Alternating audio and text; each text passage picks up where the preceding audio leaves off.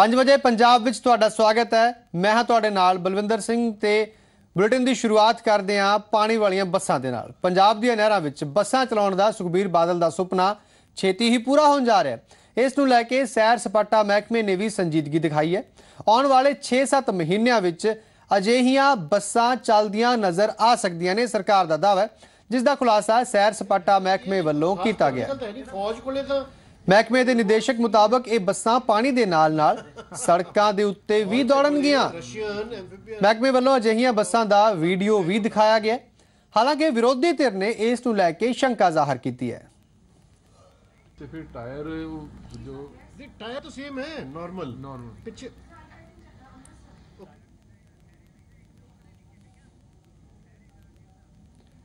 ਫੌਜ ਕੋਲੇ ਤਾਂ ਇਹ ਜਦੋਂ ਵਰਲਡ ਵਾਰ ਸੀਗੀ ਹੈ ਇਹ ਨਾ ਫ੍ਰੀ ਵੀਲਿੰਗ ਹੀ ਰਹਿਣਗੇ ਵੀਜ਼ੇ ਦੇ।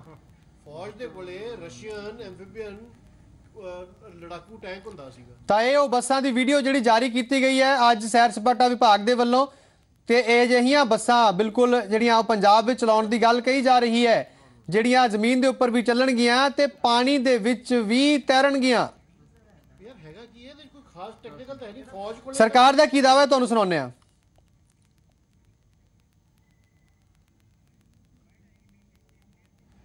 ਇਹ ਜਿਹੜਾ ਪ੍ਰੋਜੈਕਟ ਹੈਗਾ ਐਮਫੀਬੀਅਸ ਬੱਸ ਦਾ ਜਿਹੜਾ ਪ੍ਰੋਜੈਕਟ ਹੈਗਾ, ਇਹ ਕਨਸੈਪਚੁਅਲਾਈਜ਼ ਤੇ ਜਿਹੜਾ ਸੋਚਿਆ ਹੈ, ਇਹ ਡਿਪਟੀ ਸੀਐਮ ਸਾਹਿਬ ਨੇ ਬਾਹਰ ਗਏ ਸੀ ਯੂਰਪ ਚ ਉਹਨਾਂ ਨੇ ਇਹ ਦੇਖਿਆ ਤੇ ਉਹਨਾਂ ਨੇ ਸੋਚਿਆ ਕਿ ਈਵਨ ਪੰਜਾਬ ਦੇ ਸਿਟੀਜ਼ਨਸ ਵਾਸਤੇ ਆ ਸਰਵਿਸ ਹੋਣੀ ਚਾਹੀਦੀ ਹੈ ਬਿਕੋਜ਼ ਇਹ ਵਨ ਆਫ ਅ ਕਾਈਂਡ ਹੈਗੀ ਹੈ। ਇਹਦੇ ਕਰਕੇ ਉਹਨਾਂ ਨੇ ਫਿਰ ਇੱਥੇ ਆ ਕੇ ਇਹਦਾ ਟੂਰਿਜ਼ਮ ਡਿਪਾਰਟਮੈਂਟ ਨੂੰ ਕਿਹਾ ਕਿ ਇਹਦਾ ਕੁਛ ਨਾ ਕੁਛ ਕੀਤਾ ਜਾਵੇ। ਇਹਦਾ ਹੁਣ ਅਸੀਂ ਟੈਂਡਰ ਕੱਢਿਆ ਹੈ, ਇਹਦਾ ਡੀਪੀਆਰ ਬਣਾ ਕੇ ਟੈਂਡਰ ਕੱਢਿਆ ਹੈ। ਇਹ 48 ਸੀਟ ਦੀ ਐਮਫੀਬੀਅਨ ਬੱਸ ਹੈਗੀ ਹੈ। ਇਹ ਜ਼ਮੀਨ ਤੇ ਵੀ ਚੱਲੂਗੀ, ਸੜਕਾਂ ਤੇ ਤੇ ਇਹ ਪਾਣੀ 'ਚ ਵੀ ਚੱਲੂਗੀ। ਵੀ ਸੋ ਕਾਲਡ ਬਣਾ ਵੀ ਰਹੇ ਨੇ, ਤਾਂ ਮੈਂ ਕਹਿੰ, ਮੈਂ ਸਮਝਦਾ ਕਿ ਇਹ ਗਵਰਨਮੈਂਟ ਬੱਸਸ ਜ਼ੋਨ ਜਿਹੜੀਆਂ ਨੇ, ਪ- ਪੰਜਾਬ ਰੋਡਵੇਜ਼ ਪੈਪਸੂ ਦੀਆਂ ਇਹ ਉਹਨਾਂ ਨੂੰ ਸਕੀਮਾਂ ਜਾਣੀਆਂ ਚਾਹੀਦੀਆਂ। ਤਾਂ ਵਿਰੋਧੀ ਧਿਰ ਨੇ ਇਸ ਦੇ ਉੱਪਰ ਸਵਾਲ ਜਰਾ ਜ਼ਰੂਰ ਜਿਹੜਾ ਖੜਾ ਕੀਤਾ ਤੇ ਹਾਲਾਂਕਿ ਸਰਕਾਰ ਦਾ ਇਹ ਦਾਵਾ ਕਿ ਜਿਸ ਤਰ੍ਹਾਂ ਨਾਲ ਕਿਹਾ ਜਾ ਰਿਹਾ ਸੀ ਕਿ ਸ਼ਾਇਦ ਜਿਹੜਾ ਅਜਿਹਾ ਨਹੀਂ ਹੋ ਸਕਦਾ, ਪਰ ਹੁਣ ਕਿਸ ਤਰ੍ਹਾਂ ਨਾਲ ਦਾਵਾ ਕੀਤਾ ਗਿਆ, ਵੀਡੀਓ ਵੀ ਦਿਖਾਇਆ ਗਿਆ ਇਸ ਖਬਰ ਦੇ ਉੱਪਰ ਹੋਰ ਜਾਣਕਾਰੀ ਦੇਣ ਲਈ ਸਾਡੇ ਪੱਤਰਕਾਰ ਜਗਤਾਰ ਭੁੱਲਰ ਚੰਡੀਗੜ੍ਹ ਤੋਂ ਸਾਡੇ ਨਾਲ ਫੋਨ ਲਾਈਨ ਤੇ ਜੁੜ ਰਹੇ ਨੇ। ਜਗਤਾਰ, ਤਾਂ ਜਿਹੜੀਆਂ ਪਾਣੀ ਵਾਲੀਆਂ ਬੱਸਾਂ ਨੂੰ ਲੈ ਕੇ ਬਹੁਤ ਸਾਰਾ ਇੱਕ ਜੋਕ ਵੀ ਕੀਤੇ ਜਾਂਦੇ ਸੀ, ਮਜ਼ਾਕ ਵੀ ਉਡਾਇਆ ਜਾ ਰਿਹਾ ਸੀ ਤੇ ਹੁਣ ਇਹ ਸਰਕਾਰ ਵੱਲੋਂ ਦਾਵਾ ਕੀਤਾ ਜਾ ਰਿਹਾ ਕਿ ਇਹ ਸੱਚ ਹੋਏਗਾ, ਜਿਸ ਤਰ੍ਹਾਂ ਵੀਡੀਓ ਵੀ ਦਿਖਾਇਆ ਗਿਆ ਬਿਲਕੁਲ ਬਲਵਿੰਦਰ, ਐਸੇ ਤੇ ਸੁਖਬੀਰ ਸਿੰਘ ਬਾਦਲ ਨੇ ਕਿਹਾ ਸੀ ਕਿ ਉਹ ਜਲਦੀ ਪੰਜਾਬ ਦੇ ਚ ਪਾਣੀ 'ਚ ਬੱਸਾਂ ਚੱਲ ਗਈਆਂ ਤੇ ਪੂਰੇ ਪੰਜਾਬ ਨੇ ਮਜ਼ਾਕ ਸਮਝਿਆ ਹੈਗਾ ਸੀ। ਔਰ ਸੁਖਬੀਰ ਸਿੰਘ ਬਾਦਲ ਕਈ ਵਾਰ ਆਪਣੇ ਤਕਰੀਰਾਂ ਵਿੱਚ ਕਹਿ ਚੁੱਕੇ ਹੈਗੇ ਨੇ ਕਿ ਜਦ ਵੀ ਉਹ ਅਜਿਹੀਆਂ ਗੱਲਾਂ ਕਰਦੇ ਤੇ ਲੋਕ ਮਜ਼ਾਕ ਸਮਝਦੇ ਹੈਗੇ ਨੇ, ਜਿਵੇਂ ਪੰਜਾਬ ਤੋਂ ਨੇ ਕਿਹਾ ਸੀ ਕਿ ਪਾਵਰ ਪਲੱਸ ਸੂਬਾ ਬਣੇਗਾ ਤੇ ਲੋਕ ਕਹਿੰਦੇ ਇਹ ਹੋ ਨਹੀਂ ਸਕਦਾ ਹੈਗਾ। ਪਰ ਹੁਣ ਇਸ ਟਾਈਮ ਪੰਜਾਬ ਪਾਵਰ ਪਲੱਸ ਸੂਬਾ ਇਸੇ ਤਰ੍ਹਾਂ ਨੂੰ ਸੁਖਬੀਰ ਸਿੰਘ ਬਾਦਲ ਨੇ। ਪੰਜਾਬ ਦੇ ਵਿੱਚ ਪਾਇਲਟ ਦੇ ਤੌਰ ਤੇ ਜਿਹੜਾ ਪ੍ਰੋਜੈਕਟ ਸਭ ਤੋਂ ਪਹਿਲਾਂ ਹਰੀਕੇ ਪੱਤਨ ਵਿੱਚ ਸ਼ੁਰੂ ਕੀਤਾ, ਜਿੱਥੇ ਕੋਈ 8-9 ਕਰੋੜ ਰੁਪਏ ਦੀ ਇਨਵੈਸਟਮੈਂਟ ਕੀਤੀ ਜਾ ਰਹੀ ਹੈ, ਜਿਹਦੇ ਚ ਤੱਕ ਟਾਪੂ ਉੱਤੇ 2 ਘੰਟੇ ਤੱਕ ਜਿਹੜੇ ਸੈਲਾਨੀ ਆਉਣਗੇ ਉੱਥੇ, ਉਹਨਾਂ ਅਜਿਹੀ ਬੱਸ ਦੇ ਵਿੱਚ ਊਟ ਦਵਾਏ ਜਾਣਗੇ। ਭਰਪੂਰ ਮਨੋਰੰਜਨ ਹੋਏਗਾ। ਔਰ ਸਲਮਾਨ ਸਾਹਿਬ ਇੱਕ ਅਜਿਹਾ ਸੂਬਾ ਹੋਇਆ ਜਿੱਥੇ ਪਹਿਲਾਂ ਹਰੀਕੇ ਪਤਨ ਚ ਬੱਸ ਚੱਲੇਗੀ। ਹਾਲਾਂਕਿ ਉਸ ਤੋਂ ਬਾਅਦ ਸ਼ਾਇਦ ਅਸਾਮ ਔਰ ਅ, ਗੋਆ ਦੇ ਵਿੱਚ ਹੀ ਕੋਸ਼ਿਸ਼ਾਂ ਕੀਤੀਆਂ ਜਿਹੜੀਆਂ ਲੇਕਿਨ ਫਿਲਹਾਲ ਦੀ ਘੜੀ ਕਹਿ ਸਕਦੇ ਵੀ ਸੁਖਬੀਰ ਸਿੰਘ ਬਾਦਲ ਇੱਕ ਵਾਰ ਫਿਰ ਅ, ਹੈਗਾ ਕਿ ਪੰਜਾਬ 'ਚ ਜਲਦੀ ਜਿਹੜੀਆਂ ਪਾਣੀ ਤੇ ਬੱਸਾਂ ਚੱਲਣਗੀਆਂ ਔਰ ਸਰਕਾਰ ਦੀ ਅਗਰ ਇਹ ਸਕੀਮ ਕਾਰਜਕਾਰੀ ਕਰੇ ਤਾਂ ਉਸ ਤੋਂ ਬਾਅਦ ਜਿੱਥੇ ਜਿੱਥੇ ਇਦਾਂ ਦੀ ਨਹਿਰ ਹੈ ਹੋਰ ਪਾਣੀ ਵਾਲੇ ਸਥਾਨ ਸਤਲੁਜ ਡੈਮ ਸੀਗਾ ਨੰਗਲ ਡੈਮ ਰਣਜੀਤ ਸਾਗਰ ਦੀ ਗੱਲ ਕੀਤੀ ਹੈ ਬਿਆਸ ਦੀ ਗੱਲ ਕੀਤੀ ਜਾਵੇ ਤੇ ਉੱਥੇ ਵੀ ਜਿਹੜਾ ਪ੍ਰੋਜੈਕਟ ਚਲਾਇਆ ਜਾ ਸਕਦਾ ਹੈਗਾ।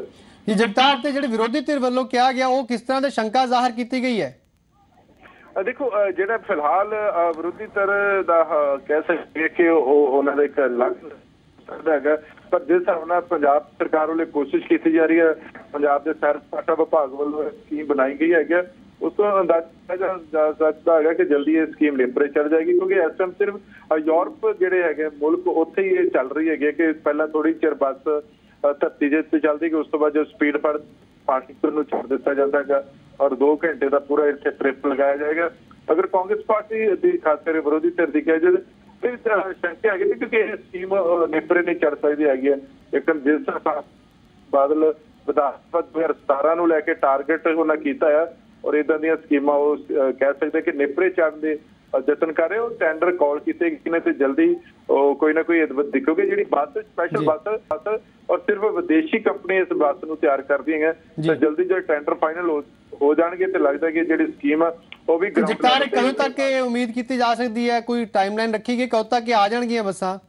ਸੁਖਬੀਰ ਸਿੰਘ ਬਾਦਲ ਨੇ ਟਾਰਗੇਟ ਦਿੱਤਾ ਗਿਆ ਡਿਪਾਰਟਮੈਂਟ ਨੂੰ ਕਿ ਘੱਟੋ ਘੱਟ 6 ਮਹੀਨੇ ਦੇ ਵਿੱਚ ਵਿੱਚ ਇਹ ਸਕੀਮ ਨੂੰ ਪੇਪਰ ਨਹੀਂ ਕਰਨਾ ਕਿ ਲੋਕਾਂ। ਨੂੰ ਫੂਟੇ ਵੀ ਸਮਝਦੇ ਹੈਗੇ ਨੇ ਪ- ਜਿਹੜਾ ਡਿਪਾਰਟਮੈਂਟ ਉਹ ਲਗਾਤਾਰ ਮੀਟਿੰਗਾਂ ਕਰ ਰਹੀ ਹੈ ਤੇ ਜਲਦੀ ਜਿਹੜੀ ਉਸ ਟੈਂਡਰ ਕਰ ਦਿੱਤੇ ਗਏ ਤੇ ਬੱਸ ਕ- ਬਣਾਉਣ ਵਾਲੀ ਕੰਪਨੀ ਦੇ ਨਾਲ ਗੱਲਬਾਤ ਕੀਤੀ ਜਾ ਰਹੀ ਹੈਗੀ। ਤੇ ਕਿਤੇ ਨਾ ਕਿਤੇ ਸੁਖਬੀਰ ਸਿੰਘ ਬਾਦਲ ਚਾਹੁੰਦੇ ਕਿ ਕਿ ਜਿਹੜਾ ਅਸਾਮ ਔਰ ਗੋਆ ਤੋਂ ਪਹਿਲਾਂ ਅਗਰ ਇਹ ਪਾਣੀ ਵਾਲੀ ਬੱਸਾਂ ਚੱਲਦੀਆਂ ਹੈਗੀਆਂ ਤੇ ਪੰਜਾਬ ਦੇ ਵਿੱਚ ਹੀ ਇਹਦੀ ਸ਼ੁਰੂਆਤ ਹੋਵੇ। ਜੀ।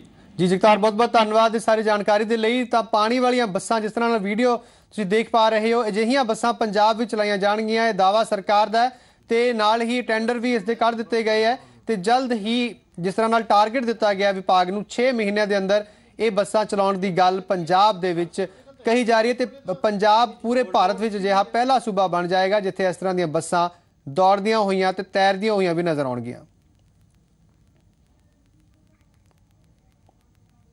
ਅਗਲੀ ਖਬਰ ਵੀ ਉਪ ਮੁੱਖ ਮੰਤਰੀ ਨਾਲ ਜੁੜੀ ਹੋਈ ਹੈ। ਸੁਖਬੀਰ ਬਾਦਲ ਨੇ ਅੱਜ ਦਿੱਲੀ ਵਿੱਚ ਕੇਂਦਰੀ ਵਿੱਤ ਮੰਤਰੀ ਅਰੁਣ ਜੇਟਲੀ ਨਾਲ ਮੁਲਾਕਾਤ ਕੀਤੀ ਹੈ ਤੇ ਉਮੀਦ ਜਤਾਈ ਜਾ ਰਹੀ ਸੀ ਕਿ ਇਸ ਮੁਲਾਕਾਤ ਦੌਰਾਨ ਜੀਐਸਟੀ ਸਮੇਤ ਕਈ ਹੋਰ ਮੁੱਦਿਆਂ ਤੇ ਚਰਚਾ ਹੋਈ ਹੈ ਤੇ ਕੱਲ ਤੋਂ ਪਾਰਲੀਮੈਂਟ ਦਾ ਸਰਦਰੁੱਤ ਇਜਲਾਸ ਵੀ ਸ਼ੁਰੂ ਹੋ ਰਿਹਾ ਤੇ ਇਜਲਾਸ ਦੌਰਾਨ ਜੀਐਸਟੀ ਸਣੇ ਕਈ ਅਹਿਮ ਬਿੱਲ ਪਾਸ ਕਰਾਉਣ ਨੂੰ ਲੈ ਕੇ ਐਨਡੀਏ ਆਪਣੇ ਸਾਥੀਆਂ ਦੇ ਨਾਲ ਮਿਲ ਕੇ ਰਣਨੀਤੀ ਨੂੰ ਘੜਨ 'ਚ ਲੱਗ ਗਈ ਹੈ।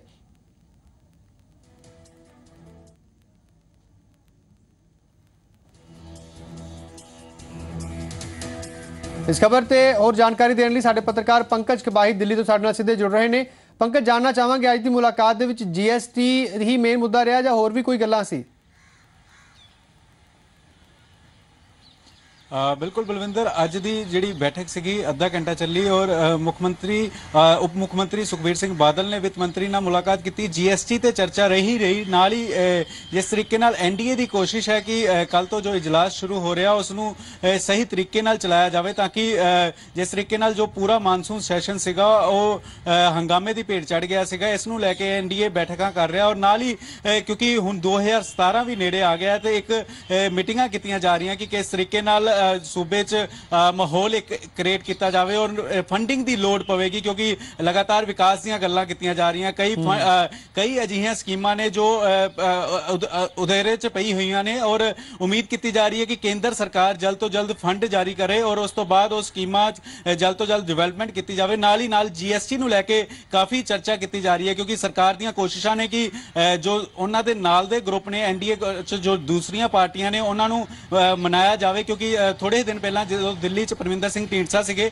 ਉਹਨਾਂ ਦਾ ਕਹਿਣਾ ਸੀ ਕਿ ਉਹ ਜੀਐਸਟੀ ਨੂੰ ਲੈ ਕੇ ਤਾਂ ਸਹਿਮਤ ਨੇ ਪਰ ਹੱਲੇ ਵੀ ਕੁਝ ਅੜਚਣਾ ਨੇ। ਸੂਬੇ ਚ ਕੁਝ ਸੂਬੇ ਕੁਝ ਹੋਰ ਚਾਹੁੰਦਾ ਹੈ ਕਿ ਉਹਨਾਂ ਨੂੰ ਸੁਧਾਰ ਮਿਲੇ ਤੇ ਇਹ ਦੇਖਣ ਵਾਲੀ ਗੱਲ ਹੋਏਗੀ ਕਿ ਹੁਣ ਕਿਸ ਤਰੀਕੇ ਨਾਲ ਕੱਲ ਤੋਂ ਜੋ ਸੈਸ਼ਨ ਸ਼ੁਰੂ ਹੋ ਰਿਹਾ ਕਿਸ ਤਰੀਕੇ ਨਾਲ ਰਹੇਗਾ। ਜੀ ਪੰਕਜ ਬਹੁਤ ਬਹੁਤ ਧੰਨਵਾਦ ਸਾਰੀ ਜਾਣਕਾਰੀ ਦੇ ਲਈ ਤਾਂ ਸੁਖਬੀਰ ਬਾਦਲ ਦੀ ਮੁਲਾਕਾਤ ਹੋਈ ਹੈ। ਅਰੁਣ ਜੇਟਲੀ ਦੇ ਨਾਲ ਇਸ ਦੇ ਵਿੱਚ ਕਈ ਸਾਰੀਆਂ ਗੱਲਾਂ ਕੀਤੀਆਂ ਗਈਆਂ ਤੇ ਸਹਿਮਤੀ ਬਣਾਉਣ ਦੀ ਕੋਸ਼ਿਸ਼ ਇੱਥੇ ਕੀਤੀ ਜਾ ਰਹੀ ਸਾਰੀਆਂ ਪਾਰਟੀਆਂ ਦੇ ਨਾਲ। ਤੇ ਨਾਲ ਹੀ ਪੰਜਾਬ ਦਾ ਟਾਰਗੇਟ ਇਹ ਹੈ ਕਿ ਜਿੰਨੇ ਵੀ ਇਹ ਸਕੀਮ ਜਿਹੜੀਆਂ ਪਹਿਲਾਂ ਐਲਾਨ ਕੀਤੇ ਹੋਏ ਹੈ ਜਾਂ ਫਿਰ ਅੱਗੇ ਵੀ ਐਲਾਨ ਕੀਤੇ ਜਾ ਰਹੇ ਨੇ, ਉਹਨਾਂ ਦੇ ਲਈ ਫੰਡ ਜਿਹੜਾ ਹੈ ਉਹ ਆਉਣਾ ਬਹੁਤ ਜ਼ਰੂਰੀ ਹੈ। ਅੱਗੇ ਵਧਦੇ ਹਾਂ, ਹੁਣ ਗੱਲ ਕਰਦੇ ਹਾਂ ਜਿਹੜੀ ਕਾਂਗਰਸ ਨੇ ਜਿਹੜਾ ਚੈਲੰਜ ਅਸੈਪਟ ਕੀਤਾ ਹੈ ਅਕਾਲੀ ਦਲ ਦਾ। ਆਪਣੇ ਜਨਤਕ ਆਧਾਰ ਨੂੰ ਮੁੜ ਮਜ਼ਬੂਤ ਕਰਨ ਲਈ ਬਠਿੰਡਾ ਵਿੱਚ ਅਕਾਲੀ ਦਲ ਵੱਲੋਂ ਕੀਤੀ ਗਈ ਸਦਭਾਵਨਾ ਰੈਲੀ ਤੋਂ ਬਾਅਦ ਸੂਬੇ ਦੀ ਸਿਆਸਤ ਪਖਣੀ ਜ਼ਾਹਰ ਹੀ ਸੀ। ਰੈਲੀ ਦੌਰਾਨ ਉਪ ਮੁੱਖ ਮੰਤਰੀ ਸੁਖਬੀਰ ਬਾਦਲ ਵੱਲੋਂ ਕਾਂਗਰਸ ਨੂੰ ਇੰਨੀ ਵੱਡੀ ਰੈਲੀ ਕਰਨ ਦੀ ਦਿੱਤੀ ਗਈ ਖੁੱਲੀ ਚੁਣੌਤੀ ਨੂੰ ਕੈਪਟਨ ਅਮਰਿੰਦਰ ਸਿੰਘ ਨੇ ਕਬੂਲ ਕੀਤਾ ਹੈ ਤੇ ਉਲਟਾ ਮੁੱਖ ਮੰਤਰੀ ਤੇ ਉਪ ਮੁੱਖ ਮੰਤਰੀ ਨੂੰ ਜਨਤਾ ਵਿੱਚ ਖੁੱਲ੍ਹ ਕੇ ਵਿਚਰ ਕੇ ਵਿਖਾਉਣ ਦੀ ਚੁਣੌਤੀ ਦਿੱਤੀ ਹੈ। ਅੱਜ ਵਰਕਰਾਂ ਦਾ ਜੋਸ਼ ਦੇਖਣ ਵਾਲੇ 2017 ਦੀ ਜੰਗ ਅੱਜ ਹੀ ਸ਼ੁਰੂ ਹੋ ਗਈ ਹੈ। ਮੈਂ ਕਾਂਗਰਸ ਨੂੰ ਕਹਿਣਾ ਚਾਹੁੰਦਾ ਮੈਂ ਕਾਂਗਰਸੀਆਂ ਨੂੰ, ਮੈਂ ਅਮਰਿੰਦਰ ਸਿੰਘ ਨੂੰ, ਪ੍ਰਤਾਪ ਬਾਜਵੇ ਨੂੰ ਚੈਲੰਜ ਕਰਦਾ ਇਸੇ ਜਗ੍ਹਾ ਤੇ ਇਕੱਠ ਕਰਕੇ ਦਿਖਾਣ ਫਿਰ ਪਤਾ ਲੱਗੂਗਾ ਪੰਜਾਬ ਦੇ ਪਿੰਡਾਂ ਦੇ ਲੋਕ। ਬਠਿੰਡਾ ਦੀ ਸਦਭਾਵਨਾ ਰੈਲੀ 'ਚ ਇਸ ਲਲਕਾਰ ਜ਼ਰੀਏ ਉਪ ਮੁੱਖ ਮੰਤਰੀ ਸੁਖਬੀਰ ਸਿੰਘ ਬਾਦਲ ਨੇ ਵਿਰੋਧੀ ਧਿਰ ਕਾਂਗਰਸ ਨੂੰ ਲਲਕਾਰਿਆ ਸੀ ਕਿ ਕਾਂਗਰਸ ਇਸੇ ਥਾਂ ਤੇ ਐਡਾ ਵੱਡਾ ਇਕੱਠ ਕਰਕੇ ਵਿਖਾਵੇ ਤੇ ਅਕਾਲੀ ਦਲ ਵੱਲੋਂ ਮਿਲੇ ਇਸ ਖੁੱਲੇ ਚੈਲੰਜ ਨੂੰ ਕੈਪਟਨ ਅਮਰਿੰਦਰ ਸਿੰਘ ਨੇ ਕਬੂਲ ਕੀਤਾ ਹੈ। ਕੈਪਟਨ ਨੇ ਕਿਹਾ ਕਿ ਉਹ ਸੁਖਬੀਰ ਬਾਦਲ ਵੱਲੋਂ ਮਿਲੇ ਚੈਲੰਜ ਨੂੰ ਕਬੂਲ ਕਰਦੇ ਨੇ ਤੇ ਉਸੇ ਥਾਂ ਤੇ ਅਕਾਲੀ ਦਲ ਤੋਂ ਵੀ ਵੱਡਾ ਇਕੱਠ ਕਰਕੇ ਵਿਖਾਉਣਗੇ। ਨਾਲ ਹੀ ਉਹਨਾਂ ਨੇ ਮੁੱਖ ਮੰਤਰੀ ਅਤੇ ਉਪ ਮੁੱਖ ਮੰਤਰੀ ਨੂੰ ਚੁਣੌਤੀ ਦਿੱਤੀ ਹੈ ਕਿ ਉਹ ਰੈਲੀਆਂ ਕਰਨ ਦੀ ਬਜਾਏ ਲੋਕਾਂ 'ਚ ਵਿਚਰ ਕੇ ਵਿਖਾਉਣ। ਵਿਧਾਨ ਸਭਾ ਚੋਣਾਂ ਦਾ ਬਿਗਲ ਹਿੱਸਾ ਰੈਲੀ ਜ਼ਰੀਏ ਅਕਾਲੀ ਦਲ ਨੇ ਵਜਾ ਦਿੱਤਾ ਸੀ। ਮੌਜੂਦਾ ਘਟਨਾਕ੍ਰਮ ਦੌਰਾਨ ਹੋਏ ਵੱਡੇ ਇਕੱਠ ਤੋਂ ਬਾਅਦ ਉਤਸ਼ਾਹਿਤ ਅਕਾਲੀ ਦਲ ਵੱਲੋਂ ਜਿੱਥੇ ਵਿਰੋਧੀ ਪਾਰਟੀਆਂ ਨੂੰ ਲਲਕਾਰਿਆ ਗਿਆ ਹੈ, ਉੱਥੇ ਕੈਪਟਨ ਵੱਲੋਂ ਚੁਣੌਤੀ ਸਵੀਕਾਰ ਤਾਂ ਕਰ ਲਈ ਗਈ ਹੈ ਪਰ ਵੇਖਣਾ ਇਕੱਠ ਪੱਖੋਂ ਉਹ ਅਕਾਲੀ ਦਲ ਦੇ ਦਾਅਵਿਆਂ ਨੂੰ ਠਿੱਬੀ ਲਾਉਣ 'ਚ ਕਿਸ ਹੱਦ ਤੱਕ ਕਾਮਯਾਬ ਹੁੰਦੇ ਨੇ। New desk report Zee Media. ਉਧਰ ਸਰਬੱਤ ਖਾਲਸਾ ਦੌਰਾਨ ਸੋਸ਼ਲ ਮੀਡੀਆ ਤੇ ਵਾਇਰਲ ਹੋਏ ਕਥਿਤ ਆਡੀਓ ਟੇਪ ਲੀਕ ਹੋਣ ਤੋਂ ਬਾਅਦ ਅਕਾਲੀ ਦਲ ਦੇ ਨਿਸ਼ਾਨੇ ਤੇ ਆਏ ਕਾਂਗਰਸੀ ਆਗੂ ਲਾਲੀ ਮਜੀਠੀਆ ਨੇ ਵੀ ਪਲਟਵਾਰ ਕੀਤਾ ਉਹਨਾਂ ਅਕਾਲੀ ਦਲ ਨੂੰ ਆਪਣੇ ਆਗੂਆਂ ਤੇ ਨਜ਼ਰ ਰੱਖਣ ਲਈ ਕਿਹਾ ਹਾਲਾਂਕਿ ਉਹਨਾਂ ਨੇ ਆਡੀਓ ਟੇਪ 'ਚ ਆਪਣੀ ਆਵਾਜ਼ ਹੋਣ ਜਾਂ ਨਾ ਹੋਣ ਬਾਰੇ ਕੁਝ ਨਹੀਂ ਕਿਹਾ। ਉਧਰ ਅਕਾਲੀ ਦਲ ਨੇ ਮੁੜ ਤੋਂ ਲਾਲੀ ਮਜੀਠੀਆ ਤੇ ਨਿਸ਼ਾਨਾ ਲਾਇਆ। ਉਹਦੇ ਚ ਲਾਲੀ ਮਜੀਠੀਆ ਨੇ ਇਹ ਕਿਹਾ। ਮੇਰਾ ਅੱਜ ਮਕਸਦ ਇਹ ਸੀ ਕਿ they should come on record ਕਿ whether they have checked the veracity of the audio tape number 2 ਜੇ ਵੈਰਾਸਿਟੀ ਚੈੱਕ ਕੀਤੀ ਹੈ, ਤੇ ਕੀ ਉਹਨਾਂ ਨੇ ਪ੍ਰੋਪਰਲੀ ਉਹ, ਇਹ ਜਿਹੜੀ ਆਡੀਓ ਟੇਪ ਹੈ, ਉਹ ਸੁਣੀ ਆ? ਜੇ ਸੁਣੀ ਆ, ਤੇ ਉਹਦੇ ਚ ਐਂਟੀ ਨੈਸ਼ਨਲ ਕੀ ਹੈ? They should come on record ਤੇ then definitely I will go in for filing a defamation case with honourable Punjab and Haryana High Court ਅੱਗੇ ਵਧਦੇ ਹਾਂ ਜੰਮੂ ਕਸ਼ਮੀਰ ਦੀ ਗੱਲ ਕਰਦੇ ਹਾਂ। ਇੱਥੇ ਵੱਡੀ ਖਬਰ ਹੈ ਐਲਓਸੀ ਦੇ ਕੋਲ ਆਰਮੀ ਕੈਂਪ ਤੇ ਦਹਿਸ਼ਤਗਰਦੀ ਹਮਲਾ ਹੋਇਆ ਹੈ ਤੇ ਇਸ ਵੇਲੇ ਵੱਡੀ ਖਬਰ ਇਹ ਹੈ ਕਿ ਫੌਜ ਨੇ ਤਿੰਨ ਦਹਿਸ਼ਤਗਰਦਾਂ ਨੂੰ ਮਾਰ ਮੁਕਾਇਆ ਮੁੱਠਭੇੜ ਵਿੱਚ ਫੌਜ ਦਾ ਇੱਕ ਜਵਾਨ ਸ਼ਹੀਦ ਹੋ ਗਿਆ। ਉੱਥੇ ਹੀ ਇੱਕ ਨਾਗਰਿਕ ਦੀ ਵੀ ਮੌਤ ਹੋਈ ਹੈ। ਦਹਿਸ਼ਤਗਰਦਾਂ ਨੇ ਆਇਲ ਡਿਪੂ ਵਿੱਚ ਅੱਗ ਲਾ ਦਿੱਤੀ ਸੀ। ਪਰ ਇਸ ਤੋਂ ਬਾਅਦ ਫੌਜ ਦੇ ਜਵਾਨਾਂ ਨੇ ਮੋਰਚਾ ਸਾਂਭਦੇ ਹੋਏ ਤਿੰਨ ਦਹਿਸ਼ਤਗਰਦਾਂ ਨੂੰ ਢੇਰ ਕਰ ਦਿੱਤਾ। ਇਸ ਵਕਤ ਇੱਥੇ ਸਰਚ ਆਪਰੇਸ਼ਨ ਜਾਰੀ ਹੈ। ਤਾਂ ਦਹਿਸ਼ਤਗਰਦਾਂ ਨੇ ਹਮਲਾ ਕੀਤਾ। ਤੰਗਧਾਰ ਵਿੱਚ ਫੌਜੀ ਕੈਂਪ ਤੇ ਉਸ ਤੋਂ ਬਾਅਦ ਤਿੰਨ ਦਹਿਸ਼ਤਗਰਦਾਂ ਨੂੰ ਮਾਰ ਮੁਕਾਇਆ ਗਿਆ। ਸਵੇਰੇ ਹੀ ਇਹ ਹਮਲਾ ਕਰ ਦਿੱਤਾ ਗਿਆ ਸੀ ਤੇ ਇਸ ਵੇਲੇ ਸਰਚ ਆਪਰੇਸ਼ਨ ਕੀਤਾ ਜਾ ਰਿਹਾ। ਕਿਤੇ ਕੋਈ ਦਹਿਸ਼ਤਗਰਦ ਲੁਕਿਆ ਹੋਇਆ ਤਾਂ ਨਹੀਂ ਹੈ। ਹੁਣ ਗੱਲ ਕਿਸਾਨਾਂ ਦੀ ਕਰਦੇ ਹਾਂ। ਲੱਖ ਸਰਕਾਰੀ ਭਰੋਸਿਆਂ ਦੇ ਬਾਵਜੂਦ ਗੰਨਾ ਕਿਸਾਨਾਂ ਦੀ ਅਦਾਇਗੀ ਅਜੇ ਵੀ ਰੁਕੀ ਹੋਈ ਹੈ। ਹੁਸ਼ਿਆਰਪੁਰ ਤੋਂ ਇਸ ਦੀਆਂ ਤਸਵੀਰਾਂ ਸਾਹਮਣੇ ਆਈਆਂ ਨੇ, ਜਿੱਥੇ ਕਿਸਾਨ ਆਪਣੀ ਫਸਲ ਅੱਧੇ ਰੇਟ ਤੇ ਵੇਚਣ ਨੂੰ ਮਜਬੂਰ ਨੇ। ਹੁਸ਼ਿਆਰਪੁਰ ਦੇ ਗੁੜ ਬਣਾਉਣ ਵਾਲੇ ਵੇਲਣਿਆਂ ਤੇ ਗੰਨਾ ਕਿਸਾਨਾਂ ਦੀ ਆਮਦ ਲਗਾਤਾਰ ਵਧ ਰਹੀ ਹੈ। ਤੇ ਇਸ ਦੀ ਵਜ੍ਹਾ ਹੈ ਸ਼ੂਗਰ ਮਿੱਲਾਂ ਦਾ ਗੰਨਾ ਨਾ ਖਰੀਦਣਾ ਅਤੇ ਪਿਛਲੇ ਸਾਲ ਦੇ ਬਕਾਏ ਦੀ ਅਦਾਇਗੀ ਨਾ ਕਰਨਾ। ਸੋ ਮਜਬੂਰੀ ਦੇ ਵਿੱਚ ਗੰਨਾ ਕਿਸਾਨ ਹੁਣ ਵੇਲਣਿਆਂ ਤੇ ਅੱਧੇ ਰੇਟ ਦੇ ਉੱਤੇ ਗੰਨਾ ਵੇਚ ਰਹੇ ਨੇ। ਕਿਸਾਨ ਮੰਨਦੇ ਨੇ ਕਿ ਘਾਟੇ ਵਾਲਾ ਸੌਦਾ ਏ, ਪਰ ਘੱਟੋ ਘੱਟ ਪੈਸੇ ਤਾਂ ਨਗਦ ਮਿਲ ਰਹੇ ਨੇ। ਬੇਲਣਿਆਂ ਤੇ ਸੁੱਟਣਾ ਪੈ ਰਿਹਾ ਤੇ ਘੱਟ ਰੇਟ ਤੇ ਪਰ ਘੱਟ ਰੇਟ ਜ਼ਰੂਰ ਹੈਗਾ ਪਰ ਪੈਸੇ ਨਗਦ ਹੈਗੇ। ਉਹ ਵੀ 180 ਰੁਪਏ ਦੇ ਹਿਸਾਬ ਨਾਲ ਜਿਹੜਾ 395 ਰੁਪਏ ਦਾ ਰੇਟ ਹੈ ਗੰਨੇ ਦਾ ਉਹ 180 ਰੁਪਏ ਦੇ ਹਿਸਾਬ ਨਾਲ ਉਹਨਾਂ ਵੇਚਣੇ ਪੈ ਰਿਹਾ। ਵਾ। ਕਿੰਨੀ ਮੈਨੂੰ ਪਰੇਸ਼ਾਨੀ ਦਿੱਕਤ ਆ ਰਹੀ ਹੈ। ਤੇ ਮਿੱਲਾਂ ਜਿਹੜੀਆਂ ਸਾਡਾ 15 ਨੰਬਰ ਨੂੰ ਟਾਈਮ ਕੀਤਾ ਸੀ ਇਹਨਾਂ ਫਿਕਸ ਸਕੈਨ ਕਮਿਸ਼ਨ ਨੇ ਉਹਦੇ ਵਿੱਚ ਵੀ ਸਾਡੀਆਂ ਜਿਹੜੀਆਂ ਮਿੱਲਾਂ ਦੀ ਪੜਾਈ ਇਹਨੇ 20 ਤੇ ਲੈ ਗਏ। 20 ਤੋਂ ਬਾਅਦ ਫਿਰ 13 ਚੀਜ਼ ਉੱਥੇ ਗਏ ਆ ਚਲੋ ਜਲੰਧਰ ਗਏ ਆ। ਫਿਰ ਚੰਡੀਗੜ੍ਹ ਗਏ ਕੈਨ ਕਮਿਸ਼ਨ ਕੋਲ। ਕੈਨ ਕਮਿਸ਼ਨ ਨੇ ਸਾਡੀ ਮੀਟਿੰਗ ਜਿਹੜੀ ਮਿੱਲਾਂ ਦੀ ਪੜਾਈ ਜਿਹੜੀ 25 ਨੂੰ ਕੀਤੀ ਸ਼ੁਰੂ ਫਿਰ 25 ਮਿਲ ਨੂੰ ਮਿੱਲਾਂ ਚੱਲਣਗੀਆਂ। 25 ਤਰੀਕ ਤੱਕ ਵੀ ਮਿੱਲਾਂ ਨਹੀਂ ਚੱਲੀਆਂ ਹੁਣ 30 ਦਾ ਨਾ ਕੀਤਾ ਇਹਨਾਂ ਨੇ 9 ਰੁਪਏ 30 ਨੂੰ ਕਰਾਂਗੇ। ਤੇ 30 ਦੇ ਵਿੱਚ ਵੀ ਕੋਈ ਮੈਦ ਨਹੀਂ ਵੀ ਮਿੱਲਾਂ ਚੱਲ ਪੈਣਗੇ ਉਧਰ ਮੁਕੇਰੀਆਂ ਦੇ ਐਸਡੀਐਮ ਸਾਹਿਬ ਭਰੋਸਾ ਦੇ ਰਹੇ ਨੇ ਕਿ ਸ਼ੂਗਰ ਮਿਲਾਂ ਪੂਰੀ ਤਰ੍ਹਾਂ ਚਾਲੂ ਨੇ ਤੇ ਕਿਸਾਨਾਂ ਦੀ ਮੁਸ਼ਕਿਲ ਜਲਦ ਹੱਲ ਹੋਵੇਗੀ।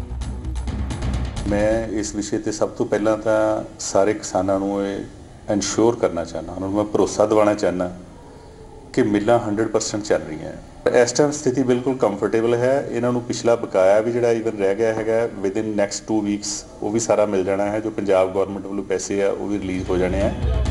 ਕਿਸਾਨ ਫਸਲ ਦਾ ਮੰਡੀਕਰਨ ਕਰਨ ਤੋਂ ਬਾਅਦ ਵੀ ਪਰੇਸ਼ਾਨ ਨੇ। ਸਮੇਂ ਦੇ ਉੱਤੇ ਅਦਾਇਗੀ ਨਾ ਹੋਣ ਕਾਰਨ ਆਰਥਿਕ ਤੰਗੀ ਦਾ ਸ਼ਿਕਾਰ ਹੋ ਰਹੇ ਨੇ। ਪਰ ਸਰਕਾਰ ਅਤੇ ਸਰਕਾਰੀ ਅਫਸਰ ਸਿਰਫ ਭਰੋਸਾ ਦੇ ਰਹੇ ਨੇ। ਰਮਨ ਖੋਸਲਾ, ਸੀ ਮੀਡੀਆ, ਹੁਸ਼ਿਆਰਪੁਰ। ਸਰਕਾਰੀ ਦਫ਼ਤਰਾਂ ਦੇ ਕੰਮਕਾਜ ਤੇ ਸਵਾਲ ਅਕਸਰ ਹੀ ਉੱਠਦੇ ਰਹਿੰਦੇ ਨੇ। ਹਾਲਾਂਕਿ ਪੰਜਾਬ ਸਰਕਾਰ ਨੇ ਸਰਕਾਰੀ ਕੰਮਾਂ 'ਚ ਪਾਰਦਰਸ਼ਤਾ ਲਿਆਉਣ ਤੇ ਲੋਕਾਂ ਦੀ ਸਹੂਲਤ ਲਈ ਸੁਵਿਧਾ ਸੈਂਟਰ ਵੀ ਖੋਲ੍ਹੇ ਨੇ, ਪਰ ਬਾਵਜੂਦ ਇਸ ਦੇ ਲੋਕਾਂ ਦੀ ਲੁੱਟ ਜਾਰੀ ਹੈ। ਇਹ ਹੈ ਲੁਧਿਆਣਾ ਦਾ ਟਰਾਂਸਪੋਰਟ ਵਿਭਾਗ ਦਾ ਦਫ਼ਤਰ, ਜਿੱਥੇ ਰੋਜ਼ਾਨਾ ਸੈਂਕੜਿਆਂ ਦੀ ਗਿਣਤੀ ਵਿੱਚ ਲੋਕ ਡਰਾਈਵਿੰਗ ਲਾਇਸੈਂਸ ਬਣਵਾਉਣ ਆਉਂਦੇ ਨੇ। ਪਰ ਇੱਥੇ ਆਉਣ ਵਾਲੇ ਲੋਕਾਂ ਦਾ ਵਾਅ ਸਰਕਾਰੀ ਮੁਲਾਜ਼ਮਾਂ ਦੀ ਬਜਾਏ ਵਿਚੋਲੀਆ ਕਿਸਮ ਦੇ ਲੋਕਾਂ ਨਾਲ ਪੈਂਦਾ ਹੈ ਜੋ ਡਰਾਈਵਿੰਗ ਲਾਇਸੈਂਸ ਬਣਵਾਉਣ ਦੇ ਬਦਲੇ ਦੁੱਗਣੀ ਤਿੱਗਣੀ ਰਕਮ ਵਸੂਲਦੇ ਨੇ। ਜਦੋਂ ਸਾਡੀ ਟੀਮ ਇੱਥੇ ਪਹੁੰਚੀ ਤਾਂ ਦੇਖਿਆ ਕਿ ਦਫ਼ਤਰ ਦੇ ਅੰਦਰ ਬੈਠੇ ਉਹ ਲੋਕ ਕੰਮ ਕਰ ਰਹੇ ਸਨ ਜਿਹੜੇ ਇੱਥੇ ਪੱਕੇ ਮੁਲਾਜ਼ਮ ਨਹੀਂ ਸਨ ਅਤੇ ਉਹਨਾਂ ਕੋਲ ਸਾਡੇ ਸਵਾਲਾਂ ਦਾ ਕੋਈ ਜਵਾਬ ਨਹੀਂ ਸੀ। ਕੱਚੇ ਹੋਤੇ ਹਾਂਜੀ। हैं ਕੌਣ ਦਿਹਾੜੀ ਦਿੰਦਾ? ਕੋਈ ਨਹੀਂ ਭਾਜੀ ਦਿਹਾੜੀ ਕਿਹਨੇ ਦੇਣੀ? ਇੱਦਾਂ ਕਿੱਦਾਂ ਕੰਮ ਕਰ ਲੈਂਦੇ ਹੋ ਸਰਕਾਰੀ ਦਫ਼ਤਰਾਂ ਵਿੱਚ ਬੈਠ ਕੇ? ਤੁਸੀਂ ਪੱਕੇ ਹੋ ਕਿ ਨਹੀਂ ਪੱਕੇ? ਮੈਨੂੰ ਇਹ ਦੱਸੋ। ਆਪ ਪੰਡਾਰੀ ਸਾਹਿਬ ਨੇ ਤੁਸੀਂ ਪੱਕੇ ਹੋ ਕਿ ਨਹੀਂ ਪੱਕੇ? ਮੈਨੂੰ ਇਹ ਦੱਸੋ ਤੁਸੀਂ ਪੱਕੇ ਹੋ ਉੱਥੇ ਇੱਥੇ ਡਰਾਈਵਿੰਗ ਲਾਇਸੈਂਸ ਬਣਵਾਉਣ ਪਹੁੰਚੇ ਲੋਕਾਂ ਨਾਲ। ਜਦੋਂ ਅਸੀਂ ਗੱਲ ਕੀਤੀ ਤਾਂ ਪਤਾ ਲੱਗਿਆ ਕਿ ਉਹਨਾਂ ਕੋਲੋਂ ਕਾਗਜ਼ਾਂ ਦਾ ਬਹਾਨਾ ਬਣਾ ਕੇ ਮੋਟੀ ਫੀਸ ਵਸੂਲੀ ਜਾਂਦੀ ਹੈ। ਇਹ ਕਹਿੰਦੇ ਆ ਨਹੀਂ ਹੈਗਾ ਉਹ ਨਹੀਂ ਹੈਗਾ ਹੁੰਦਾ ਸਾਰਾ ਕੁਝ ਹੀ ਆ ਕੋਲੇ। ਹੁਣ ਉਹ ਮੰਗਦੇ 1000 ਰੁਪਈਆ। ਨੂੰ ਅਸਲੀ ਫੀਸ 300 ਰੁਪਏ ਆ। 1000 ਰੁਪਏ ਮੰਗਦਾ ਕੌਣ ਹੈ? ਯਾਰ ਬਾਹਰ ਲਈ ਮੰਗੀ ਜਾਂਦੇ ਨੇ। ਜਦੋਂ ਸਾਡੀ ਟੀਮ ਨੇ ਪੂਰੇ ਟਰਾਂਸਪੋਰਟ ਦਫ਼ਤਰ ਦਾ ਦੌਰਾ ਕੀਤਾ ਤਾਂ ਇੱਥੇ ਵੀ ਨੇਮਾਂ ਦੇ ਉਲਟ ਕਈ ਕੈਬਨਾਂ ਦੇ ਸ਼ੀਸ਼ੇ ਪੂਰੀ ਤਰ੍ਹਾਂ ਕਾਲੇ ਸਨ ਜਿਨ੍ਹਾਂ ਦੇ ਅੰਦਰ ਕੁਝ ਵੀ ਦਿਖਾਈ ਨਹੀਂ ਦਿੰਦਾ। ਤੁਹਾਨੂੰ ਦਿਖਾਣੇ ਆ ਕਿ ਡਿਪਾਰਟਮੈਂਟ ਦੇ ਵਿੱਚ ਜਿਹੜੇ ਸ਼ੀਸ਼ੇ ਨੇ ਦਫ਼ਤਰਾਂ ਦੇ ਉਹ ਕਾਲੇ ਕੀਤੇ ਗਏ ਨੇ। ਇਹ ਪੂਰੀ ਤਰ੍ਹਾਂ ਜਿਹੜੇ ਸ਼ੀਸ਼ੇ ਨੇ ਪਾਰਦਰਸ਼ੀ ਨਹੀਂ ਇਹ ਕਾਲੇ ਕਾਲੇ ਕਰਕੇ ਜਿਹੜੇ ਅੰਦਰ ਡਿਪਾਰਟਮੈਂਟ ਦੇ ਅੰਦਰ ਦਲਾਲ ਜਾਂਦੇ ਨੇ ਉਹ ਲਾਇਸੈਂਸ ਜਿਹੜੇ ਜ਼ਿਆਦਾ ਭਾਰੀ ਮਾਤਰਾ 'ਚ ਫਾਰਮ ਭਰਦੇ ਨੇ ਤੇ ਆਪ ਹੀ ਦਿੰਦੇ ਨੇ ਤੇ ਉਹਨਾਂ ਦੇ ਥਰੂ ਹੀ ਲਾਇਸੈਂਸ ਬੰਦੇ ਨੇ। ਦਫ਼ਤਰ ਅੰਦਰਲੇ ਵਿਚੋਲਿਆਂ ਤੇ ਇੱਥੋਂ ਦੇ ਵਰਕ ਸਿਸਟਮ ਬਾਰੇ ਜਦੋਂ ਟਰਾਂਸਪੋਰਟ ਵਿਭਾਗ ਦੇ ਅਫਸਰਾਂ ਨਾਲ ਗੱਲ ਕੀਤੀ ਗਈ ਤਾਂ ਉਹ ਕੁਝ ਵੀ ਖੁੱਲ੍ਹ ਕੇ ਬੋਲਣ ਨੂੰ ਤਿਆਰ ਨਹੀਂ ਸਨ। ਹਾਲਾਂਕਿ ਉਹਨਾਂ ਕਿਹਾ ਕਿ ਕੈਬਨਾਂ ਦੇ ਸ਼ੀਸ਼ਿਆਂ ਤੇ ਲੱਗੀ ਕਾਲੀ ਫਿਲਮ ਜਲਦ ਉਤਾਰ ਦਿੱਤੀ ਜਾਵੇਗੀ। ਬਾਹਰੋਂ ਵੀ ਕਾਲੇ ਨੇ ਅੰਦਰੋਂ ਵੀ ਕਾਲੇ ਨੇ। ਇਹ ਨਹੀਂ ਹੋਣਾ ਚਾਹੀਦਾ ਟ੍ਰਾਂਸਪੇਰੈਂਟ ਹੋਣਾ ਚਾਹੀਦਾ। ਬੰਦਾ ਅੰਦਰਲੇ ਬੈਠੇ ਨੂੰ ਦੇਖ ਸਕੇ। ਦੇਖੋ ਮੈਂ ਇਹਦੇ ਵਿੱਚ ਤਾਂ ਇਹੋ ਕਹਾਂਗਾ ਕਿ ਜਿਸ ਜਿਸ ਕਿਸੇ ਨੇ ਲਾਇਸੈਂਸ ਬਣਾਉਣਾ ਹੀ should himself herself appear before the licensing authority ਦਾ ਆਪਣਾ ਲਾਇਸੈਂਸ ਬਣਾਵੇ। ਲੋੜ ਹੀ ਨਾ ਪਵੇ ਮਿਡਲਮੈਨ ਦੀ। ਟਰਾਂਸਪੋਰਟ ਵਿਭਾਗ ਦੇ ਅਫਸਰ ਭਾਵੇਂ ਕਾਰਵਾਈ ਦਾ ਭਰੋਸਾ ਦੇ ਰਹੇ ਨੇ, ਪਰ ਟਰਾਂਸਪੋਰਟ ਦਫ਼ਤਰ ਦੀ ਕਾਰਵਾਈ ਤੁਸੀਂ ਦੇਖ ਚੁੱਕੇ ਹੋ। ਇਸ ਲਈ ਜੇ ਤੁਸੀਂ ਆਪਣਾ ਡਰਾਈਵਿੰਗ ਲਾਇਸੈਂਸ ਬਣਵਾਉਣ ਜਾਣਾ ਹੈ, ਤਾਂ ਵਿਚੋਲੀਆ ਕਿਸਮ ਦੇ ਲੋਕਾਂ ਤੋਂ ਸਾਵਧਾਨ ਰਹੋ। ਨਵੀਨ ਸ਼ਰਮਾ, ਜ਼ੀ ਮੀਡੀਆ, ਲੁਧਿਆਣਾ। ਹੁਣ ਦੇਖਣਾ ਹੋਵੇਗਾ ਕਿ ਵਿਭਾਗ ਇਸ ਦੇ ਉੱਪਰ ਕਿੰਨੀ ਜਲਦੀ ਕਾਰਵਾਈ ਕਰਦਾ ਹੈ। 5 ਵਜੇ ਪੰਜਾਬ ਵਿੱਚ ਅੱਜ ਲਈ ਇੰਨਾ ਹੀ। ਇਜਾਜ਼ਤ ਦਿਓ। ਧੰਨਵਾਦ।